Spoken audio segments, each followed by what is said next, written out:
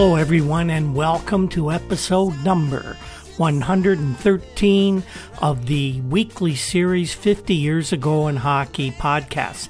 I'm your host, Rick Cole, and every week, right here on the Hockey Podcast Network, we take a trip down memory lane back in time 50 years and we report on all the hockey news that was taking place at that time, exactly as it happened, written by some of the greatest sports writers of all time. In this show, we're looking at the week of December 20th to 26th, 1971. And before we get going too far this week, what we'd like to do is uh, wish everybody the best of this holiday season, however you celebrate. Things aren't ideal this year, and that's a gross understatement to say the least. But you know what? We all have to get through it, and we can do it together. Uh, lean on everybody if you need to. Be that leaning post for someone who needs it. But enjoy the holiday season and uh, enjoy the time with your family. I'm very lucky this year. Both my kids are going to be here for uh, at least part of the holidays. And although we won't be able to get together with everyone we'd like to, we still think it's going to be a very joyous season. And we, we take some comfort in that. If you like what we do here on the Hockey Podcast every week and every day on Twitter, you can help us out by going to patreon.com slash hockey 50 years and subscribe to this podcast. Subscribers get early access to every week's free podcast, but that's not all. We have some very special uh, content that we put out several times a month and uh, some really neat stuff in the hopper that we're, we're working on right now. Uh, including a, a, pretty interesting show where we're going to talk about the life of minor league hockey players, right from uh, junior up to the minor pros. We found found some very interesting features that we want to talk about over the next little while. So if you'd like to get in on all that, go to patreon.com slash hockey 50 years. Subscribe for some uh, interesting historical content you likely won't find anywhere else. So the week began with things beginning to take on a bit of a familiar look in the NHL's Western Division, where the Chicago Blackhawks had opened up a seven point lead over the second place Minnesota North Stars. Next best team in the West, the California Golden Seals, was 15 points in arrears of Minnesota. So it was basically, as you could see, a two team race in the West. In the Eastern Division, the Rangers began the week still leading Boston and Montreal by three points. Uh, Montreal, Boston tied for second. The Bruins got the nod, though, there. They had two more wins than the Habs, and the Toronto Maple Leafs at that point in time were occupying the fourth and final playoff spot, a dozen points ahead of the Detroit Red Wings. The Red Wings, by the way, had a, a, lot of hope for the future at this point in time in the persons of two stars on the United States Olympic team uh, going to Sapporo, Japan uh, in February. Uh, these two players were Tim Sheehy and Henry Boucha. While the U.S. club had posted a 23 4 and 3 record against uh, all a real mixture of opponents, professional minor league teams included. Uh, Henry Boucha had been scoring at a two point per game clip. Boucha and Tim Sheehy are both Minnesota natives, by the way. They're big guys. They like to play a rugged style and the Red Wings are eagerly awaiting them reporting to the team. Coach Johnny Wilson of the Red Wings said that the reports on these boys were pretty bright. Uh, Wilson said that they've got all the ingredients to be very good professional hockey players at the NHL level, and it won't take them that much time to get there. They've got good shots, they can handle the puck, and Wilson says the big thing is they both can skate. The Toronto Maple Leafs lost a highly regarded goaling prospect this week. Dan Proudfoot of the uh, Toronto Globe and Mail informs us that Murray McLaughlin has left the Tulsa Oilers of the Central Hockey League to consider his future uh, which really upsets the plans of the Maple Leafs, who thought all along that his future was between the pipes of their nets at Maple Leaf Gardens. McLaughlin is a 23 year old netminder from Toronto, and he caught the Leafs' attention while he was playing for the University of Minnesota. His play this season was considered much improved over that of last year, his first professional year with Tulsa in the CHL. Ray Moran, the Oiler general manager, said, As far as we're concerned, he hasn't quit, so there's no use making a big issue out of it. Moran said that McLaughlin just left the team to get away from hockey for a couple of weeks and make up his mind just what he really wants to do with his life. Moran said that McLaughlin indicated he was going to, Min- to Minnesota to visit his fiancee before returning to Toronto. The goaltender was scheduled to start for the Oilers last Friday, but before the game, he told Moran he was just not in any frame of mind to play. He remained with the team as a backup goalie for the weekend, and he talked again with the Oiler general manager on Sunday. Ray, Ray Moran said he's just down in the dumps. He says he's having trouble getting up for the game. When he said he didn't want to play last Friday, he said it was just because he felt he couldn't do justice to himself or the team. He said there's just no way that he could play. Now, Moran did emphasize that McLaughlin's decision came as a complete and total surprise. Uh, Moran said he hadn't noticed anything wrong with Murray at all. Uh, he's usually a quiet guy anyway, and he never says a lot, and he hadn't blown up or got mad or showed anything, at least not anything that team management had noticed. McLaughlin and Ron Low had been alternating as the starting goaltenders for the Oilers. McLaughlin's goals against average was 3.30, and he had worked during eight wins and uh, seven losses. Low had been in goal for eight wins, three losses, and two ties. Toronto general manager Jim Gregory said the matter was in Moran's hands. We hope he changes his mind, that's all, and we hope to see him back. While uh, McLaughlin is gone, the Leafs are bringing in 23 year old Gordon McRae, who played goal at Michigan Tech, and he's going to be Ron Low's backup in Tulsa. Emile Francis, the cool cat who runs the New York Rangers, is a little hot under the collar because of the National Hockey League schedule.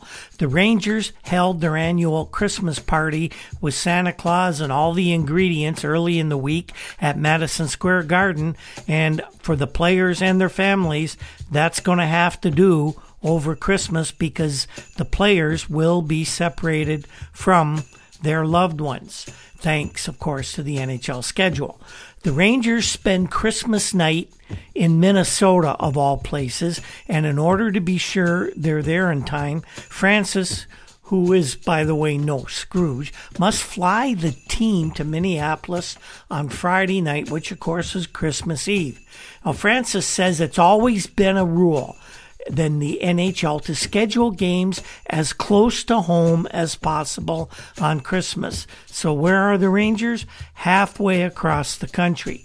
The only place they could have put us that would have been farther from New York, Francis says, would of course be the West Coast. Now, what's more is the Rangers play Montreal at home the day after Christmas. So when the club returns from Minnesota on early Sunday, the players are going to head straight for a Manhattan hotel instead of going directly to their homes.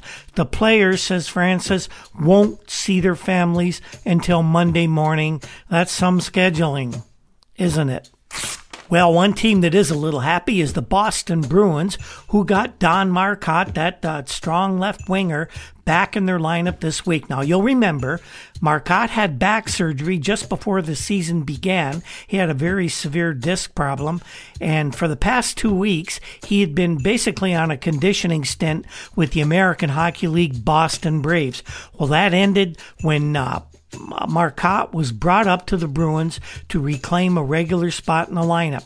And by the way, another injured Bruin player, Don Awrey, the rough and tough defenseman, he thinks he's going to be skating by Christmas and back in the lineup in the new year. So the city of Edmonton has a WHA team, World Hockey Association team, scheduled to start play next fall. They don't have a major league Uh, right now, they don't have any players, of course. Uh, they don't have too many management people in place. So there's a lot of questions about this franchise.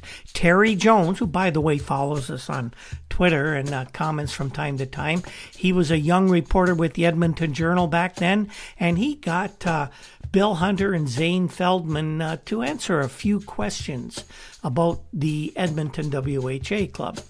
Uh, there was a press conference at Macdonald Hotel. Hunter and Feldman announced operational plans for the team in the months ahead.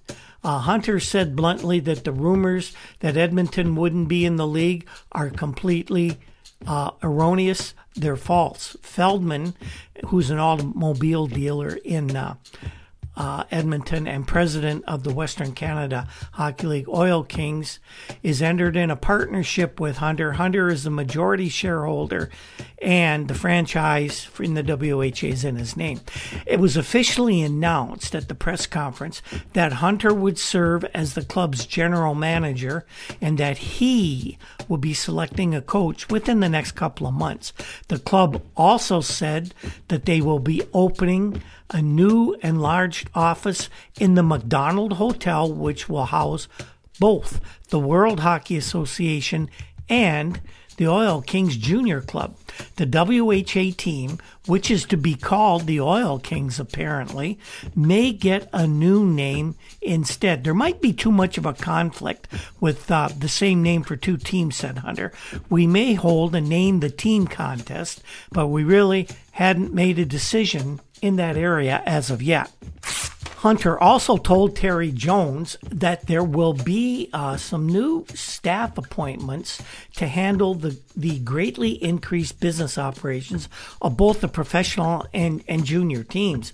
The Edmonton franchise will open up a, a season ticket sales to the public January 4th, with all junior A season ticket holders in Edmonton having until January 22nd to exercise an option on their present seats for the World Hockey Association. Ticket prices for the WHA team in Edmonton have established at a top price of $6 and then 550 and a few general admission tickets will be available at $4. That's basically standing room. Hunter said that the Edmonton Exhibition Association general manager Al Anderson had assured him that the gardens would be spruced up for World Hockey.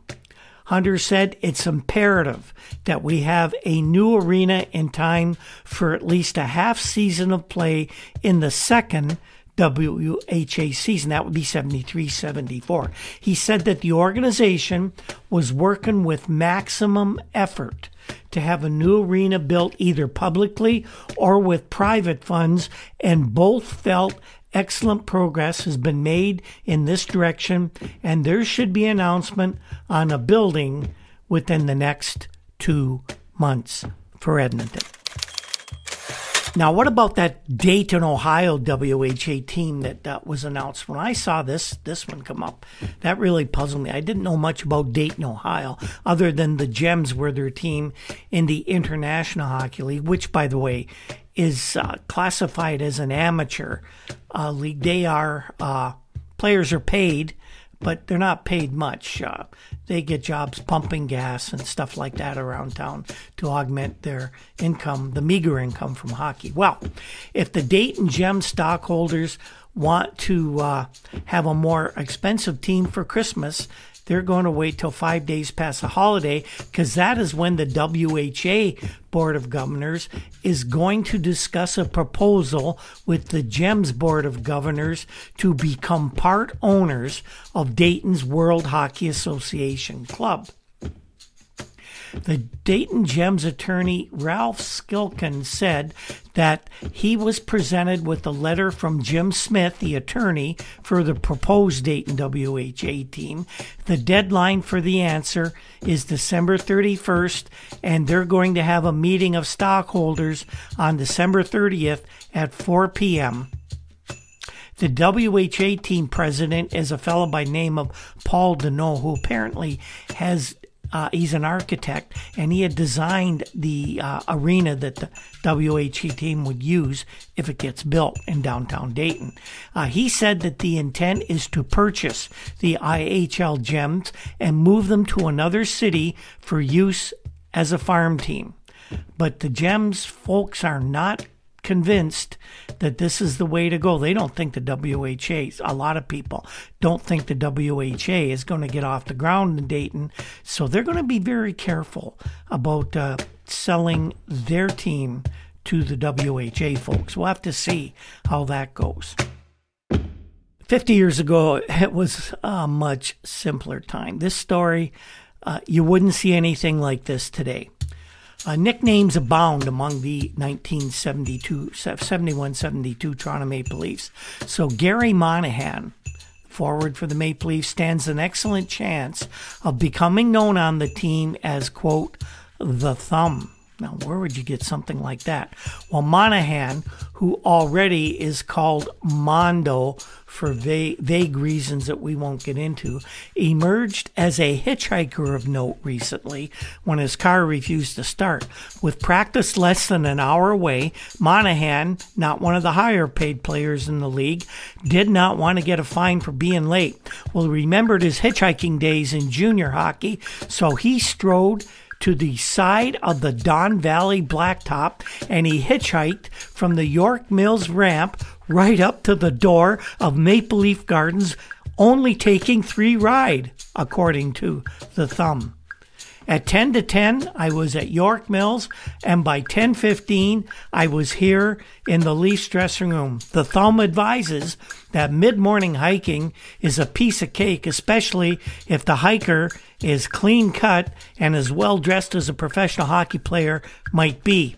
Now, cynics might suggest that the thumb enjoyed easy success because drivers recognized him. He explains only one of the three drivers seemed to know that he was a professional hockey player.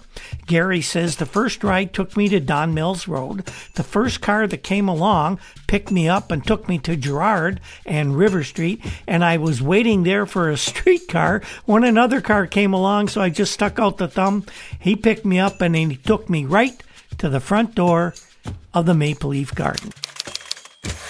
As I, as I mentioned, we're planning uh, a big special episode. It might even go into a, a, short series for our Patreon subscribers on life outside the National Hockey League for players and fans alike. Here's a little taste of uh, something we have in store, and we thank the Canadian Press for this, for this particular. We'll just give a little taste of uh, a story that they wrote this week, 50 years ago. Now, what do you tell a goalkeeper who's just faced 101 shots in a single hockey game? Gord Kent says, "Well, you tell him you just stopped 86 shot.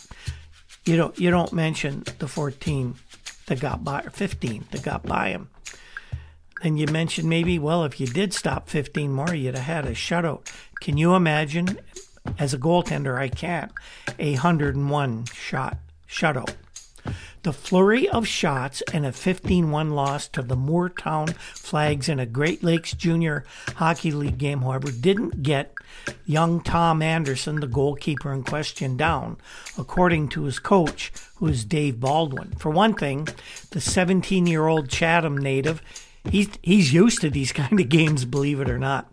The Blades just have one win and one tie to show for 20 games so far this season and have already given up 199 goals.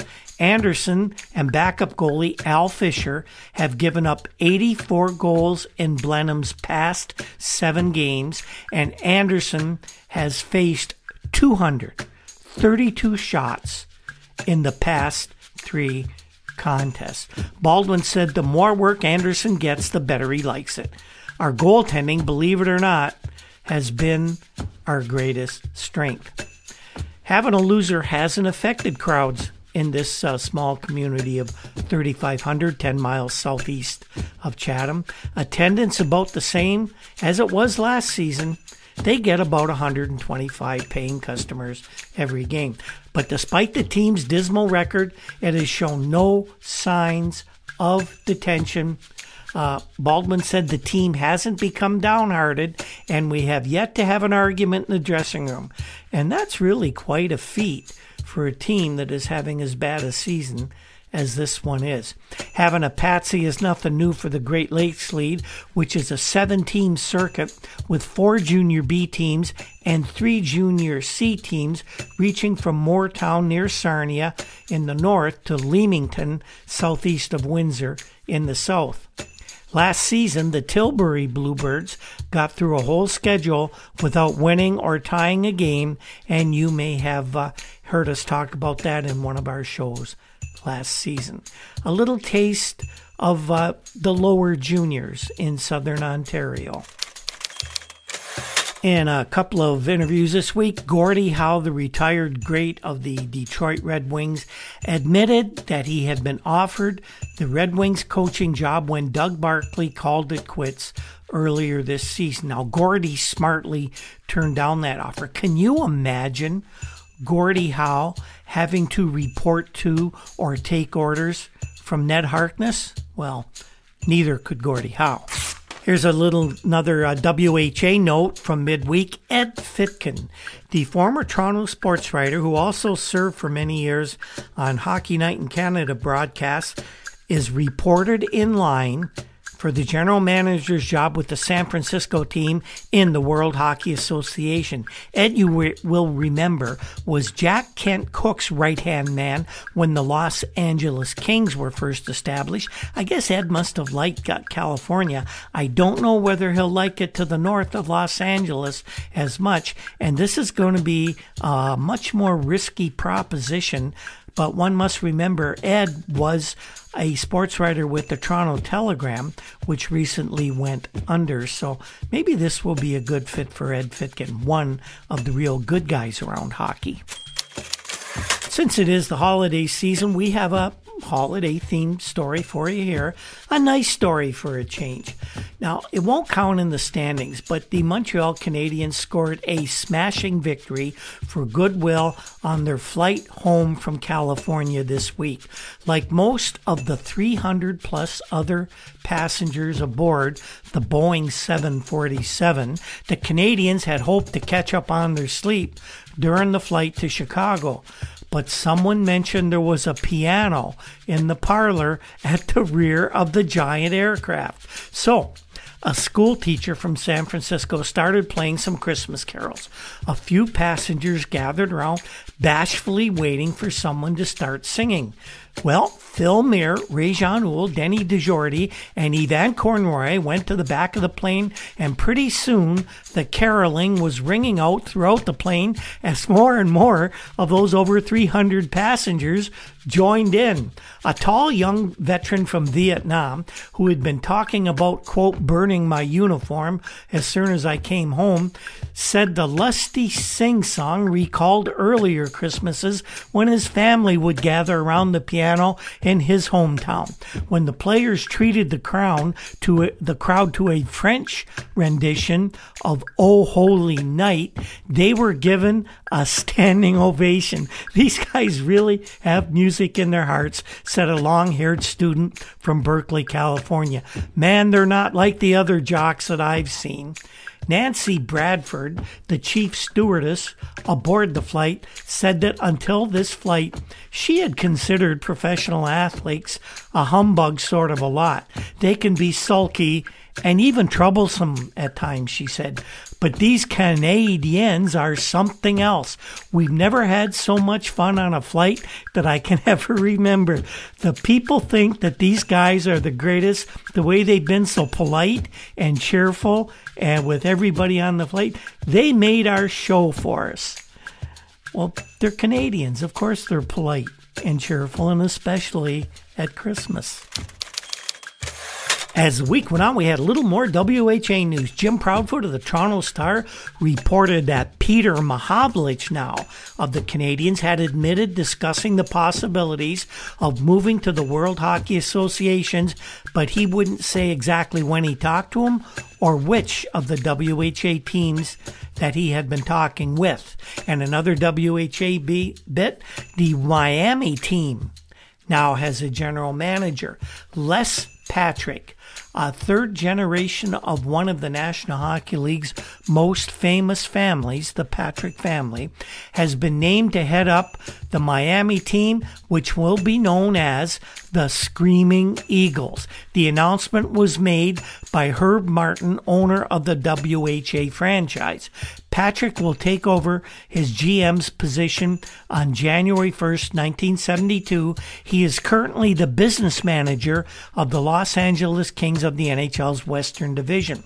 The 31 year old Patrick skated in Madison Square Garden at age two. His grandfather, the late Lester Patrick, is of course an NHL legend. Lester's son, Lynn Patrick, played in more than 450 games during his decade as a player with the New York Rangers.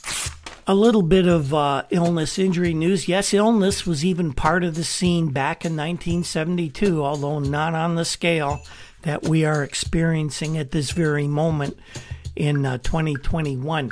The Flyers defenseman Larry Brown, who is to return to the team from a stint with Richmond of the American Hockey League this week, won't be making the trip to Philadelphia, and it's probably a good thing. He has been stricken with the highly contagious mononucleosis, and he's going to be out of the lineup for eight weeks. Brown was ending a two-week stay with the with the Richmond Robins. Uh, he's the second defenseman lost by the Flyers in two days. On Monday, they learned that uh, Brent Hughes has a fractured right wrist, and he's going to be out of the lineup. But the Flyers do have a replacement for for him as Wayne Hillman comes back from sitting out a couple weeks with a bruised right ankle. Tough times for defense in Philadelphia. Football fans, I'm sure we all love an action packed, high scoring NFL game. But with the latest no brainer from DraftKings Sportsbook, an official sports betting partner of the National Football League, you will be a winner once a single point is scored. New customers who bet just $1 on any team to score can win $100 worth of free bets. It's that simple. If Sportsbook isn't available in your state yet, you can still get in on the NFL action. Everybody can play for huge cash prizes all season long with DraftKings Daily Fantasy Sports Contests. DraftKings has given all new customers a free shot at millions of dollars in total prizes with their first deposit. Download the DraftKings Sportsbook app now.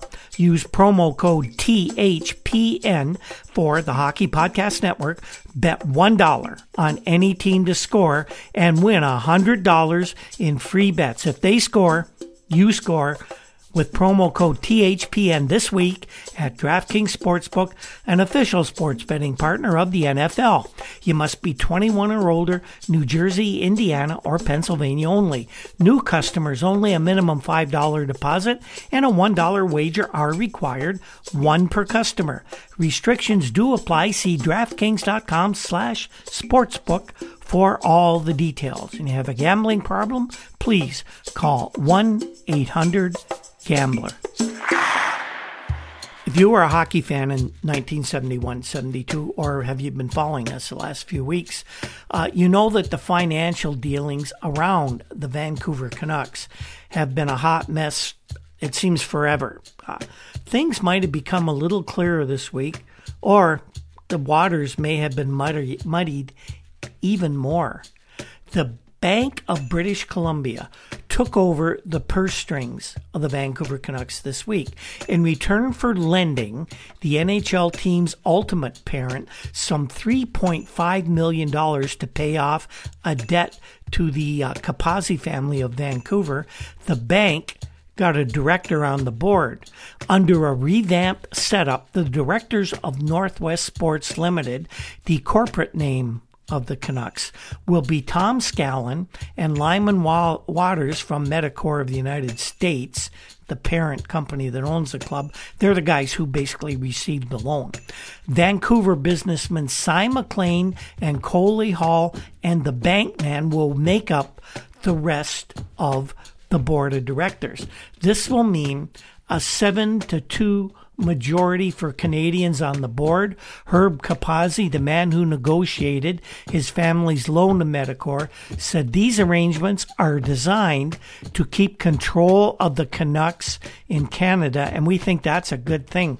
The Capozzi family is being repaid by Medicor with the funds now loaned to it by the Bank of British Columbia. The Capozzis will end up now with 99,000 shares in Northwest Sports under a clause in their own loan agreement, which provided that they should receive them at a price of $3.52 each. This is considerably less than the market, market price, which has been fluctuating, so we really don't have a solid price for that. The shares originally were held by four Canadians. Cy McLean, Coley Hall, plus Max Bell and Frank McMahon, who stayed on the board after the Medicor takeover. That's what made the uh, the count seven to two.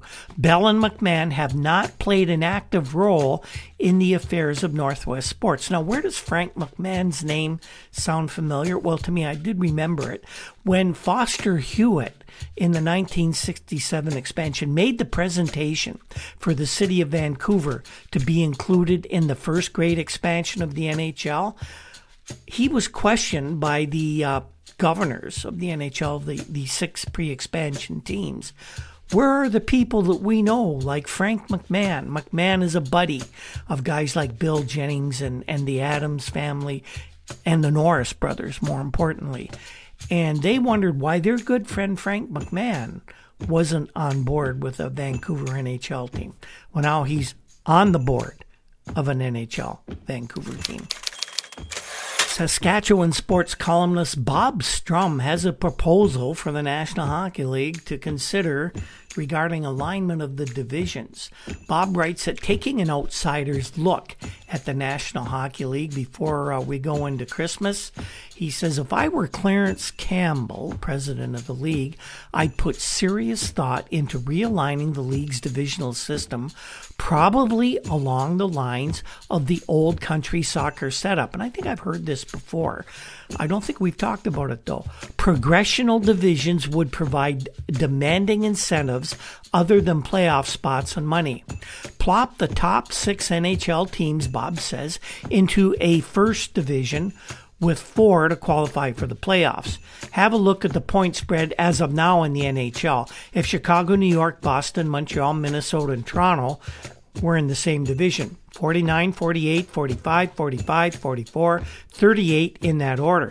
That's 11 points between the first and sixth spot in that division shuffle the other clubs into a second division with four of the eight to earn postseason spots in this lower grouping and look at the race they'd have going there.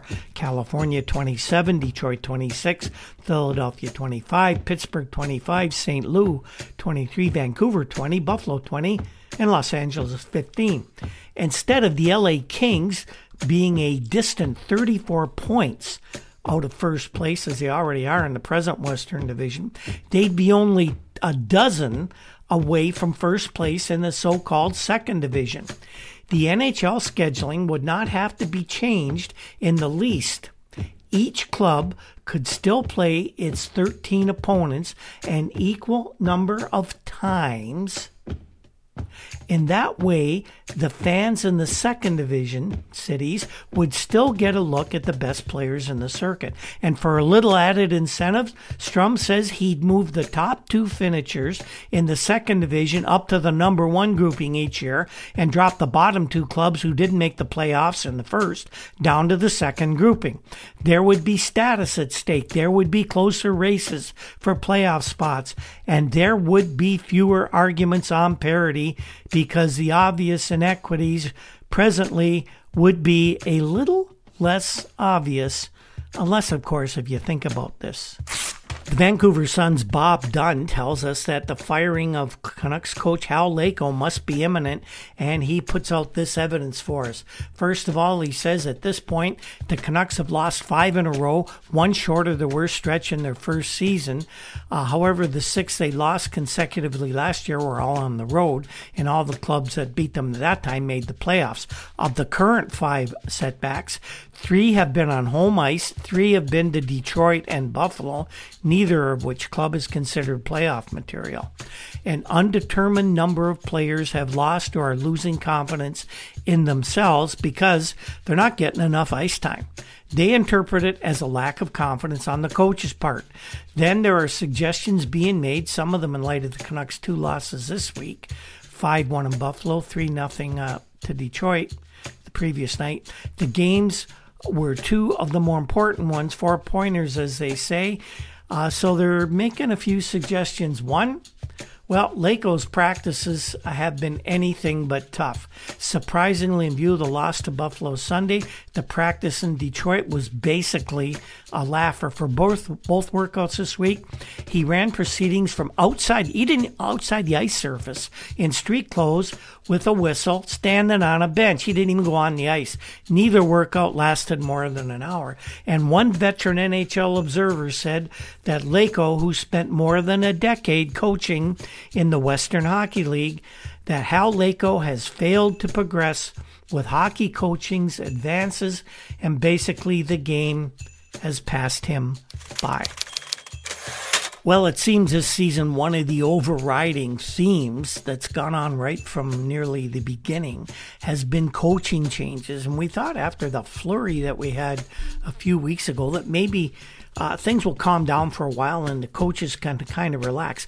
Well, that wasn't the case. But this one was a doozy that we didn't see coming.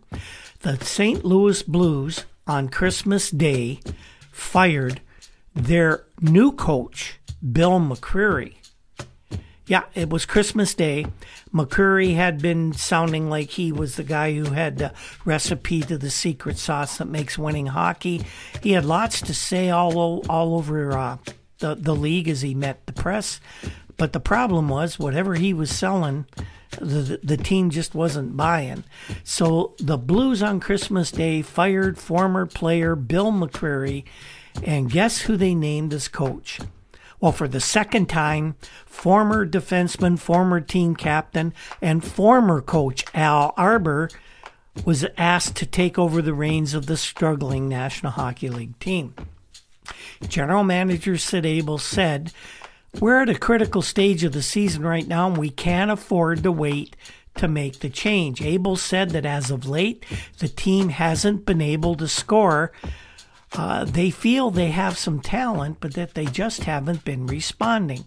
Abel says we got into a slump and it just didn't look like we're going to come out of it. Abel said he thinks the big thing will be trying to restore the confidence of the player. Abel also said the team has an injuries problem, but that can be overcome with the right attitude. Sid a tip for you. Al Arbour was a good professional defenseman, especially in the expanded NHL. One of the best shot blockers of all time. But Al Arbour was never an offensive player. Please don't ask him to teach these guys how to score. For our final segment this week, uh, I guess this is maybe a little bit of a gift for everyone. Uh, my gift to you, I guess one of my favorite NHL personalities in those days was Gump Worsley, and who didn't love Gump Worsley? We haven't talked about Gump much lately, although as you know, we did mention he and Cesar Maniago leading the NHL goalkeeping derby in goals against average for a time. Well, we've got a, a bit on him here, and it's from the great reporter with Newsday magazine out in New York, Tim Moriarty, and we'll, we'll just give you Tim's uh, story here. Gump Worsley is a beautiful man. Not in an athletic sense, because considering his scarred, pudgy face and his round body, five foot seven hundred and eighty five pounds, nobody ever has mistaken the Minnesota goalkeeper for a leading man. But Gump Worsley is a beautiful in a different sense. He has been a professional goalkeeper for 23 seasons and he learned to roll with the punches during some lean years with the New York Rangers in the late 1950s and early 60s. And he always, always came up smiling. And at age 42, he remains one of the National Hockey League's best goalies. He still curses like a trooper and is one of only two goalies in the NHL who refuse to wear a mask. Joe, La- Do- Joe Daley of the Detroit Red Wings, by the way, is the other. Worsley's explanation for not wearing a mask is his age. It's too late to start wearing one of those things now, he says. So Gump Worsley stands in front of his net as he did in the North Stars 1 1 tie with the Rangers, daring people to beat him. Without a mask, it is interesting to watch his facial expressions. And a little side note here the guy I used to love to see pictures of was Harry Lumley, another, of course, playing in the uh, era of no masks. His facial expressions that uh, Harold Barkley caught at Maple Leaf Gardens when Lum played for the Leafs were amazing. And Gumper is much the same. Gump's jaws are moving constantly as he alternately chews gum and chews out his teammates for mental lapses or congratulates them for a good play. Imagine that a goalie congratulating teammates for good play. Jack Campbell is not doing anything new, although he's doing something different in 2021 for uh, the Maple Leafs that other pro goalies don't do these days. Well, when there's pause in the action, Gump leans back on the back of the cage or on his stick, surveying the crowd, looking for old friends and chuckling at the insults that roll down from the stands. When the game resumes, Worsley spits into the glove on his left hand like a catcher, waiting for a fastball. He couldn't do that if he was wearing a mask, of course. The opposition moves down ice, and Worsley goes into a crouch so that his head is almost even with the net's crossbar. His eyes are following the puck, and Gump is ready for anything. Only when his defensemen betray him is Worsley apt to surrender a goal. It happened many times when he was with the Rangers, and it happened in the game against the Rangers this week when Ted Harris, a Minnesota big tough defenseman, lost control of the puck in front of the Minnesota goal midway through the third period. Jean Ratelle, of all people, was Johnny on the spot. He pounced on the puck and put it between Worsley's pads. It was Ratelle's 20th goal of the season, the 200th of his National Hockey League career, and it matched a second period goal by the North Stars' Murray Oliver. It ruined Worsley's shutout bid, and because of that absence of the mask, it was easy to read his lips. And we can't tell you what he said. But the Gumper didn't deny what he said at all. Sure, I cursed. Doesn't everybody? That was like a guy hitting a home run off you with the score 1 nothing in the ninth inning. A baseball reference from Gump Worsley. Gump, if nothing else, he knew his audience. The only concession Worsley has made to the mod world in recent years is to permit his once famous crew cut to grow long. He rubbed his hair vigorously with a towel, took a drag on his non filtered cigarette, and talked about two quick stops he made on Vic Hadfield on the Rangers' first rush of the game. Vic tried to jam me with the first one, Worsley said, but I had it all the way. Then he got the rebound, shot, and the puck hit the back of my leg and bounced away. He smiled, having been so fortunate so early in the game. In the second period, Worsley proved again why he'd been able to keep his average around 1.75 for most of the season. And by the way, 1.75 goals against per game in 1971 72 was a very, very good number. Now, during this game, as we mentioned, Ratelle split the Minnesota defense during a power play, moved in on Worsley. In the Rangers' 5 2 victory at St. Louis Saturday night, Ratelle got a similar breakaway and beat rookie Pete McDuffe. But McDuffe lacks Worsley's experience, and Gump said, I could see Ratelle had the puck on his backhand and that he was being bothered from behind. There's no way that he could cut inside or move to his forehand, so old Gumper made the stop with a nifty kick save. That earned him an ovation from the Madison Square Garden crowd, maybe even from the guy who had been razzing Worsley since the days when he was playing for the Rangers. Gump says there's this one guy who used to give it to me pretty good in the old days. He used to sit in the balcony on the 50th Street side of the old garden, and now he sits in practically the same spot here at the new garden to my right when I'm at the 7th Avenue end of the rink. When it was suggested that maybe this was the fan who hit Worsley in the head with an egg at the old garden several seasons ago and sent him to the hospital with a concussion, Worsley said, Nah, I don't think so. This guy would probably punch anybody in the nose if he saw him throw anything. He's a real hockey fan, not one of those idiots.